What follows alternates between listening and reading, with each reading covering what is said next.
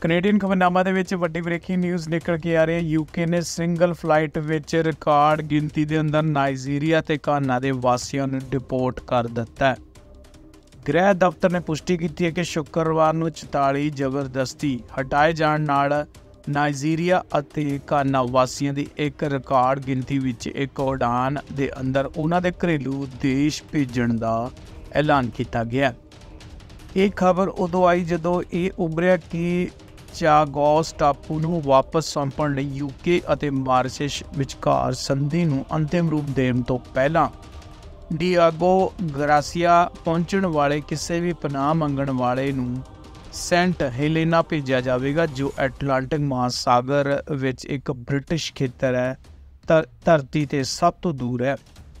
ਚਾਗੋਸ ਟਾਪੂ ਤੇ ਸੌਦੇ ਤੇ ਅਗਲੇ ਸਾਲ ਹਸਤਾਖਰ ਕੀਤੇ ਜਾਣ ਦੀ ਉਮੀਦ ਹੈ। ਲਗਭਗ 600 ਤਮਿਲ, ਜੋ 2021 ਤੋਂ ਡੀਗੋਸ ਗਾਸਰੀਆ ਵਿੱਚ ਫਸੇ ਹੋਏ ਸਨ, ਜਿਨ੍ਹਾਂ ਨੇ ਇਹ ਦਾਵਾ ਕਰ, ਕੀਤਾ ਕਿ ਉਹ ਕਾਨੂੰਨੀ ਤੌਰ ਤੇ ਚੁਣੌਤੀ ਵੀ ਦੇ ਰਹੇ ਨੇ ਕਿ ਉਹਨਾਂ ਨੂੰ ਟਾਪੂ ਤੇ ਗੈਰ ਕਾਨੂੰਨੀ ਢੰਗ ਦੇ ਨਾਲ ਨਜ਼ਰਬੰਦ ਦੇ ਦਾਅਵੇ ਤੇ ਜਲਦੀ ਫੈਸਲਾ ਆਉਣ ਦੀ ਵੀ ਉਮੀਦ ਕੀਤੀ ਜਾ ਰਹੀ ਹੈ।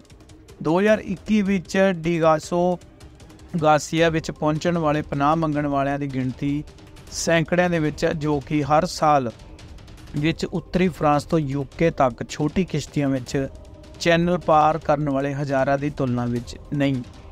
ਹੋਮ ਆਫਿਸ ਨੇ ਸ਼ੁੱਕਰਵਾਰ ਨੂੰ ਸ਼ਾਮ ਨੂੰ ਗਾਰਡੀਅਨ ਨੂੰ ਦੱਸਿਆ ਕਿ ਨਾਈਜੀਰੀਆ ਦੇ ਕਾਨਾ ਦੇ ਦੇਸ਼ ਤੋਂ ਨਿਕਲੀ ਇਮੀਗ੍ਰੇਸ਼ਨ ਲਾਗੂ ਕਰਨ ਅਤੇ ਵਾਪਸੀ ਵਿੱਚ ਵੱਡੇ ਵਾਧੇ ਦਾ ਹਿੱਸਾ ਹੈ।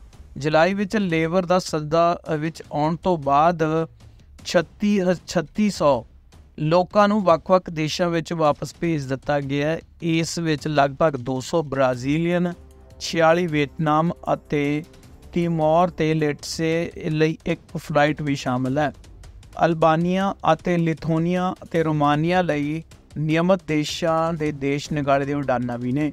ਸੂਚਨਾ ਦੀ ਅਰਜ਼ੀ ਤੇ ਨਿਯਮਤ ਤਹਿਤ ਤੇ ਜਾਰੀ ਕੀਤੇ ਆંકੜੇ ਅਨੁਸਾਰ ਨਾਈਜੀਰੀਆ ਅਤੇ ਘਾਨਾ ਲਈ ਦੇਸ਼ ਨਿਕਾਲੇ ਦੀਆਂ ਉਡਾਨਾਂ ਮੁਕਾਬਲਤਨ ਬਹੁਤ ਘੱਟ ਨੇ ਤੇ 2020 ਤੋਂ ਸਿਰਫ 4 ਰਿਕਾਰਡ ਕੀਤੇ ਗਏ ਸਨ ਤੇ ਪਿਛਲੇ ਉਡਾਨਾਂ ਵਿੱਚ ਕਰਮਵਾਰ 6 7 16 ਅਤੇ 21 ਨਾਲ ਬਹੁਤ ਘੱਟ ਲੋਕ ਸਵਾਰ ਸਨ। ਸ਼ੁੱਕਰਵਾਰ ਦੀ ਫਲਾਈਟ ਵਿੱਚ ਇੱਕ ਸਿੰਗਲ ਫਲਾਈਟ ਤੇ ਹਟਾਏ ਗਏ ਸੰਖਿਆ ਤੋਂ ਦੁੱਗਣੀ ਹੈ।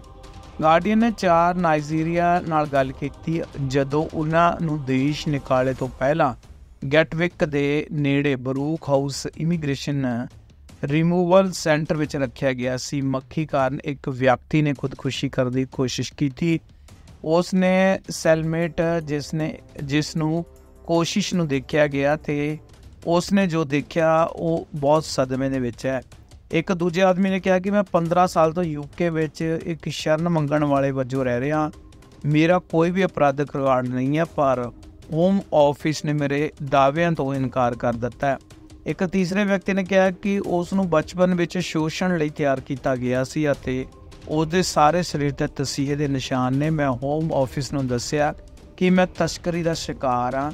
ਉਹਨਾਂ ਨੇ ਮੇਰੇ ਦਾਅਵਿਆਂ ਨੂੰ ਠੁਕਰਾ ਦਿੱਤਾ ਇੱਕ ਚੌਥੇ ਵਿਅਕਤੀ ਨੇ ਦੱਸਿਆ ਕਿ ਉਸਨੇ ਆਪਣੇ ਹਟਾਉਣ ਦੇ ਨਿਰਦੇਸ਼ ਨੂੰ ਚੁਣੌਤੀ ਦੇਣ ਲਈ ਇੱਕ ਵਕੀਲ ਦੀ ਸਖਤ ਖੋਜ ਕੀਤੀ, ਪਰ ਉਸ ਦੀ ਨੁਮਾਇੰਦਗੀ ਕਰਨ ਵਾਲਾ ਕੋਈ ਵੀ ਨਹੀਂ ਲੱਭ ਸਕਿਆ। Fiza Qureshi, migrants right works network ਦੇ ਮੁੱਖ ਕਾਰਜਕਾਰੀ ਜੋ ਯੂਕੇ ਛੱਡਣ ਤੋਂ ਪਹਿਲਾਂ ਨਾਈਜੀਰੀਆ ਘਾਨਾ ਦੇ ਦੇਸ਼ ਨਿਕਾਲੇ ਦੀਆਂ ਉਡਾਨਾਂ ਵਿੱਚ ਕੁਝ ਲੋਕਾਂ ਦੇ ਸੰਪਰਕ ਵਿੱਚ ਸੀ, ਉਸਨੇ ਕਿਹਾ ਕਿ ਅਸੀਂ ਇਹਨਾਂ ਦੇਸ਼ਾਂ, ਦੇਸ਼ ਨਿਕਾਲੇ ਦੀ ਬੇਰਹਿਮਤਾ ਤੋਂ ਬਹੁਤ ਹੈਰਾਨ ਹਾਂ, ਖਾਸ ਕਰਕੇ ਗਤੀ, ਗੁਪਤਤਾ ਅਤੇ ਕਾਨੂੰਨੀ ਸਹਾਇਤਾ ਤੱਕ ਪਹੁੰਚ ਦੀ ਘਾਟ। ਇੱਕ ਨਜ਼ਰਬੰਦ ਦਾ ਸ਼ਬਦ ਜਿਸ ਵਿੱਚ ਜਿਸ ਨਾਲ ਅਸੀਂ ਉਸ ਫਲਾਈਟ ਵਿੱਚ ਉਤਾਰੇ ਜਾਣ ਤੋਂ ਪਹਿਲਾਂ ਗੱਲ ਕੀਤੀ, ਗ੍ਰਹਿ ਦਫ਼ਤਰ ਲੋਕਾਂ ਦੀਆਂ ਜ਼ਿੰਦਗੀਆਂ ਦੇ ਨਾਲ ਰਾਜਨੀਤੀ ਕਰ ਰਿਹਾ ਅਸੀਂ ਮਦਦ ਦੀ ਦਵਾਈ ਦੇਣ ਤੋਂ ਇਲਾਵਾ ਹੋਰ ਕੁਝ ਗਲਤ ਨਹੀਂ ਕੀਤਾ।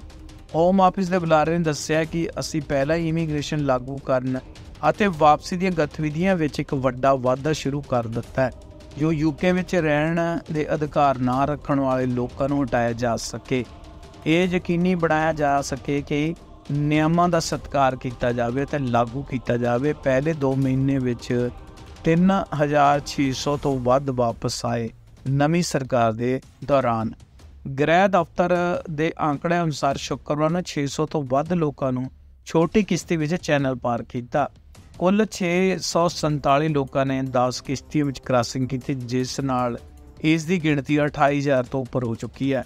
ਸ਼ੁੱਕਰਵਾਰ ਸ਼ਾਮ ਨੂੰ ਫ੍ਰੈਂਚ ਅਧਿਕਾਰੀਆਂ ਨੇ ਪਾਸ ਡੀ ਕਲੇਰ ਖੇਤਰ ਵਿੱਚ ਵਿਸੈਂਟ ਦੇ ਤੱਟ ਤੇ ਇੱਕ ਬੱਚੇ ਦੀ ਮੌਤ ਦੀ ਘੋਸ਼ਣਾ ਕੀਤੀ ਤੇ ਬਾਅਦ ਸ਼ੁੱਕਰਵਾਰ ਨੂੰ ਕ੍ਰਾਸਿੰਗ ਸਾਹਮਣੇ ਨਿਕਲ ਕੇ ਆਈ।